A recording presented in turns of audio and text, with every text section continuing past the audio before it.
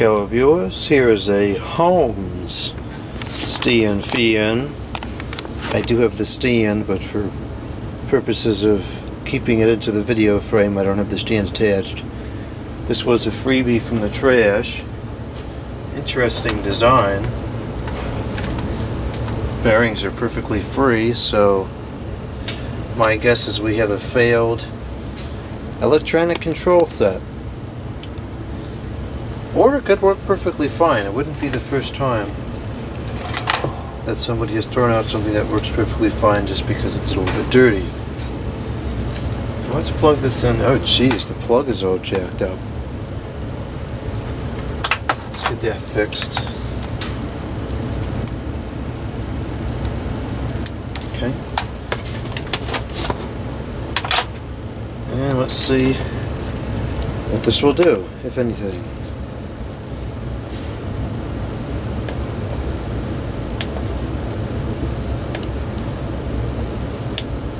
Seemingly nothing.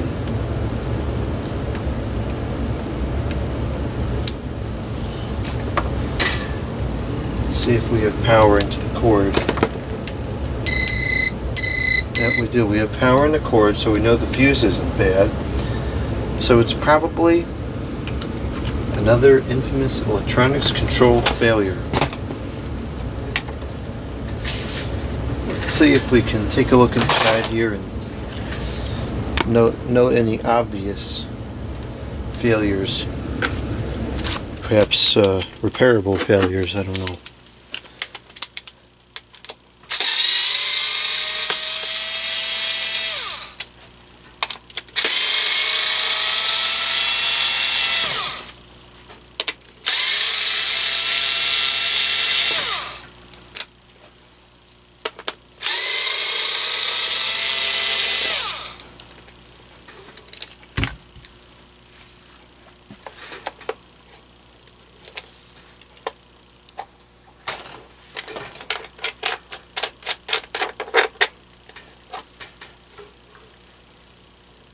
Okay, so we have some kind of bugs in here.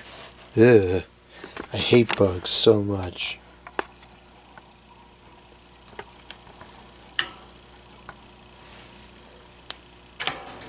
And then we have the infamous electronic control set. So it looks like we have a 1.8 microfarads capacitor in here.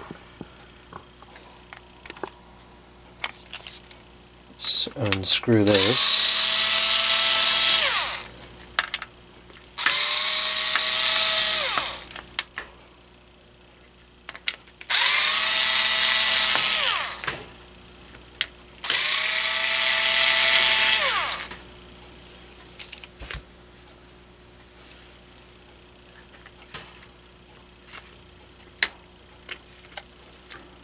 Okay.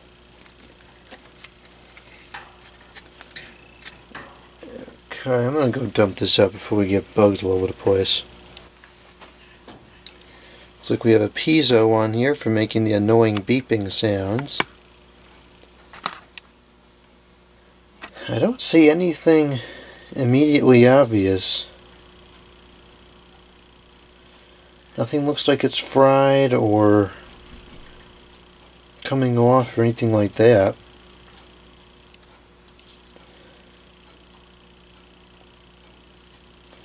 It does look like this is a standard three winding motor. So if it came down to it, what we could probably do is we could just omit this electronics control and connect it to a regular three speed mechanical control. And this is actually conveniently labeled low, medium, and high. And this is the um, uh, capacitor. So we could pretty easily just convert it to regular manual control. So let's get the multimeter out and do some testing. First thing we're going to check is the fuse on here. I'm checking for continuity here. Fuse is good. So that's about as far as I'm going to look into the electronics board. I'm not interested in repairing it really. What I want to check is the motor motor winding. So we're going to go from the winding to the lead, 213 for high.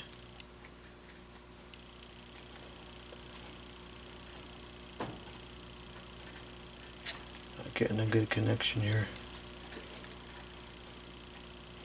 179 for medium. And 143 for low. So I kind of think the motor may be okay. I see another capacitor inside here. So this white, or I mean this yellow wire rather, is oscillation. It's got a separate motor in there for the oscillation. And then this is the lead to the motor. So I think this is actually going to be even more simple than I thought because these are the three windings. Here's the, um, the line. And the capacitor may already be hooked up as it needs to be inside the motor housing here. So let's take a look and see what we have. Okay, we do have another capacitor, and it is going into the motor. There's the information on the motor. Never heard of that brand before.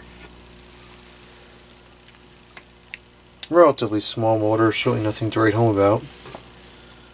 It doesn't look like anything is burnt up in there or anything like that. It seems to be just fine. This capacitor is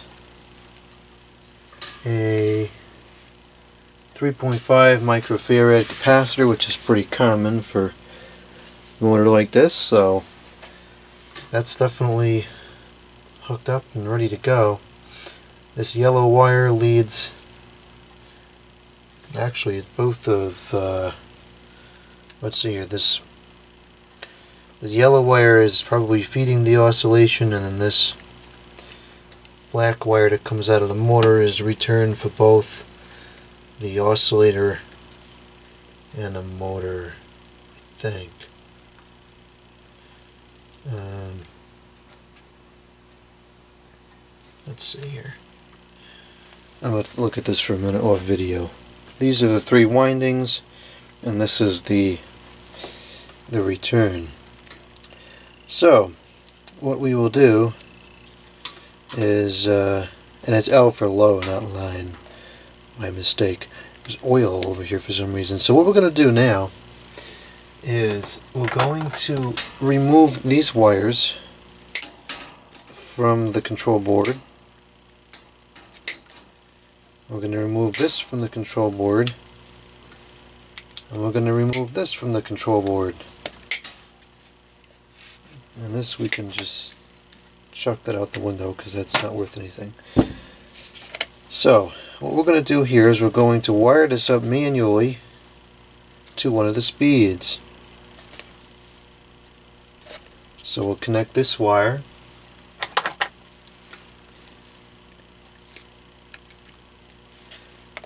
to one of these wires.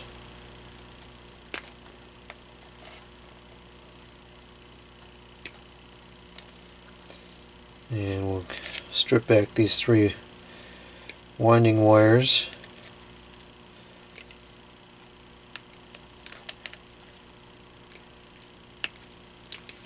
Get some wire nuts out.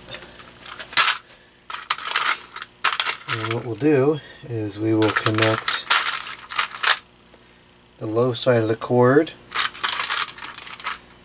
to the low side of the fan. Now the low side of the cord is the larger prong which is the striped side. So we'll take that striped side and we'll unite it with this wire.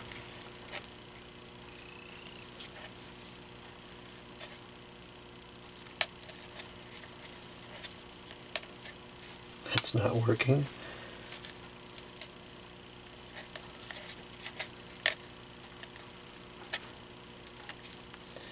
And then we'll pick a winding. Um, I don't remember, actually I can check which one was high.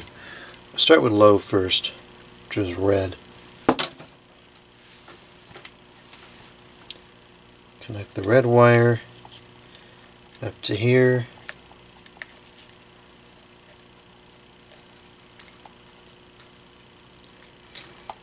And if my theories are all correct, this will give us an operating fan.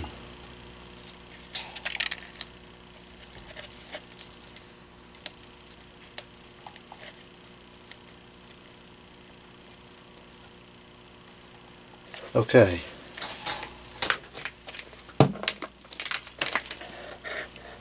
Now for the big test. Let's see if it works or if it explodes.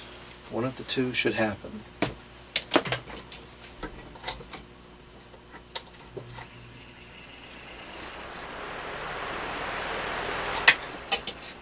Runs just fine. So, this is a classic electronics control failure. Where the stinking Chinametronics control fail well before the life of the appliance has expired. This is exactly why I don't like electronic controls. This happens all the time. Here's a perfectly good working mechanical control. Let's see if we can get this connected here and use this instead.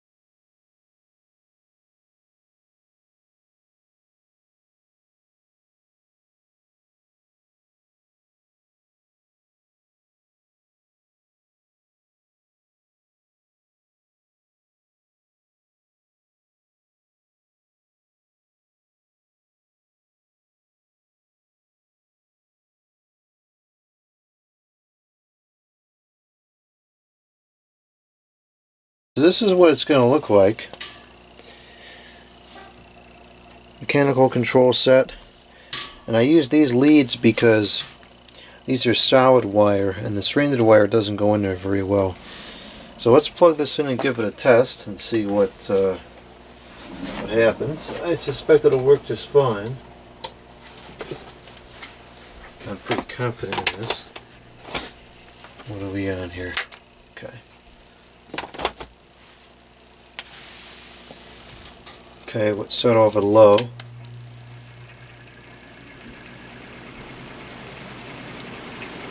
Okay, medium, high,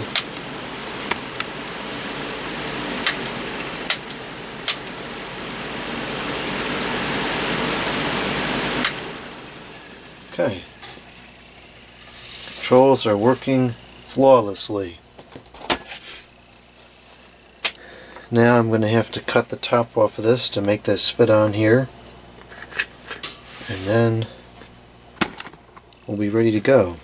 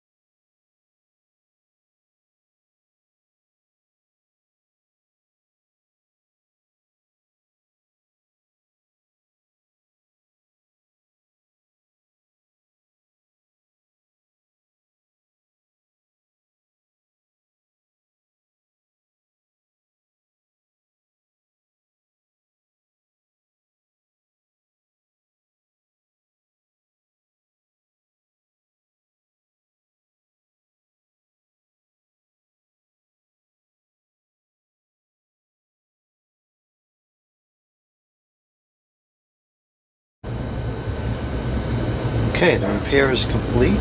The planned obsolescence has been defeated, at least in this one anyways.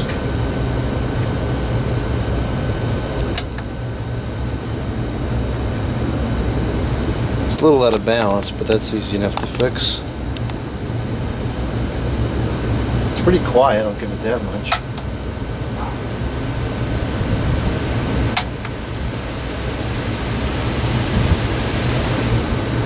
Doesn't move a lot of air, but I suspect that's probably because the thing is so dusty.